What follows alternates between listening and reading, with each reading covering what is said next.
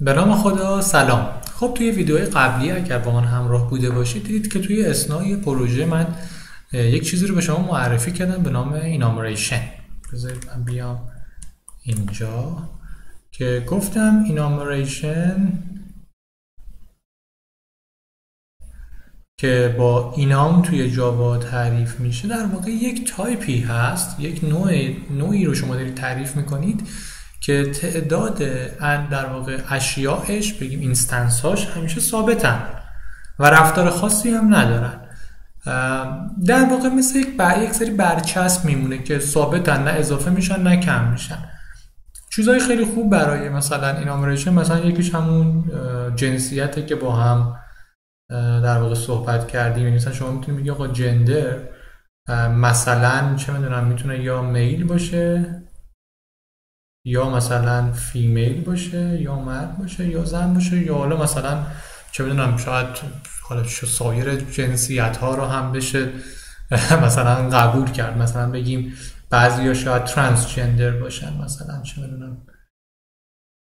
یا حالا مثلا حالا چیزای دیگه ای که ممکنه به رسمیت در دنیا قبول بشه یا نشه. ولی چیزی که وجود داره اینه که جنسیت در آدم ها چیز ثابته. یا مثلا فرض کنید مثلا سایز تیشرت که تو کتاب هست. مثلا سایز تیشرت ها توی چیز استاندارد یا اسمال داریم. شد. یا مدیوم داریم.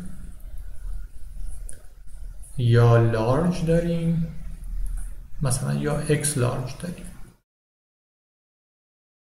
حالا ممکنه اکس اکس لارج هم مثلا مثلا همین چهار تاست. میگیم آقا دیگه ما چهار تا داریم small medium large X large چیز دیگه هم نداریم. تو اینجور جاها که من میگم یه, یه field ی معمولا شما دارید توی یک object ی به صورت خیلی مستقل پیدا نمیشه اینا. که یک سری در واقع تعداد خیلی مشخصی داره از خودش. مثل سایز بندی، رنگ بندی، نمی‌دونم جنسیت، چیزایی که چند گزینه ای هست. اینا یکی از بهترین کاندیداها هستن برای اینکه ما از enum استفاده کنیم. همونجوری که دیدید تعریف enum خیلی ساده است. مثلا شما توی gender دید که من به سادگی می‌تونم از enum استفاده کنم. حالا کجا می‌تونم من public static void main داشته باشم؟ نه اینجا نمی‌تونم داشته باشم. بذارید بیام توی همون person ه پس من یه نرا چیز تعریف کنم gender enumeration ها ما می‌تونیم در واقع constructor هم توشون داشته باشیم. یعنی هم می‌تونیم constructor داشته باشیم و هم متدهای مختلف. من مثلا برای اینکه یک constructor برای این بسازم می‌تونم فرض کنم که مثلا می‌خوام حالا به صورت رشته هم نگه دارم. اون وقت می‌تونم اینجا بیام بگم public public هم لازم نیست فکر کنم بگم. اینو اینجا ببندم. بیام بگم public مثلا gender دارم و مثلا می‌خوام از یه دونه حرف تکی هم درستش کنم. مثلا از یک string به نام s هم درستش کنم. تا اینجا من اینو می‌زنم میگه حالا این کلاس لازم public کنی و میگه حالا شما مثلا من می‌تونم اینجا بیام بگم یه دونه من field تعریف می‌کنم به نام string abbreviation. همچین چیزی می‌ذارم. و مثلا باید اینجا توی اینجا باید من دیگه توش باید با کانستراکتور در واقع صداش کنم. مثلا بگم اگر میل باشی میشی M اگر فیمیل باشی میشی F. اینجور حالتی. و توی اینجا بگم abbreviation مساوی S. یعنی الان دیگه اینم که فکر کنم غلط املایی داریم. Abbreviation داشته باشه الان ببینید الان هر enumeration توی خودش یه دونه string رو نام abbreviation که من هر وقت خواستم می‌تونم از اون استفاده کنم که مثلا بگم این male یا female یا یعنی ما می‌تونیم field هم داشته باشیم در enumeration ولی خیلی مصطلح نیست. چند تا چیز دیگه هم من بهتون بگم راجع به enumeration اجازه بدید من برم تو این تابعی که main داره. اینجا همینجا بزنم تا با هم ببینیم. یه نکته که وجود داره معمولا جندر داد یه چیز داره به نام ولیوز هر چیز این رو داره. یعنی من بیام بگم ور x مساوی این. که حالا اصلا می‌تونم بیام بگم با چیز. ببین این یک در واقع ولیوز یک آرایه‌ای برمیگرده که تمام اعضای ایناموریشن توشه.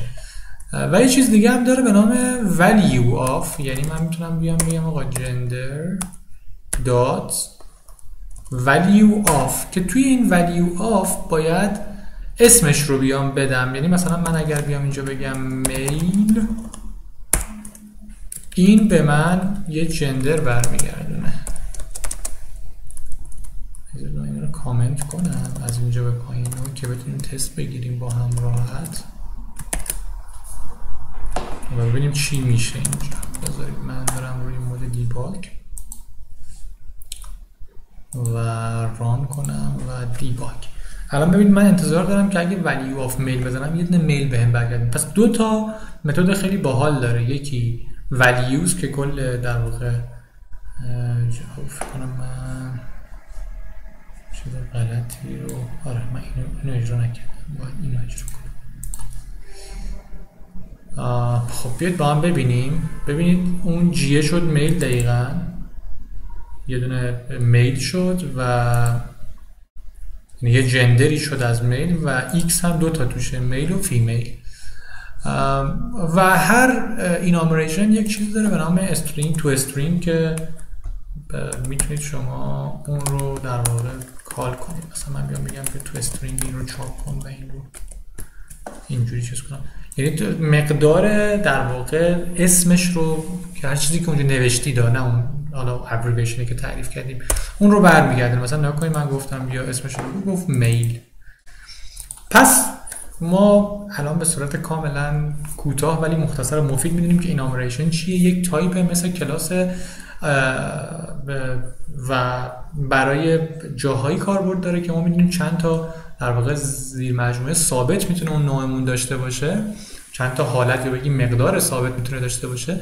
و این نکته من بهتون تا یادم رفته بگم اینه که شما می‌تونید اینجا به راحتی با مساوی یا نامساوی بررسی کنید این رو. یعنی مثلا می‌تونید بگید که آیا این مساوی جندر دات میل هست یا نه.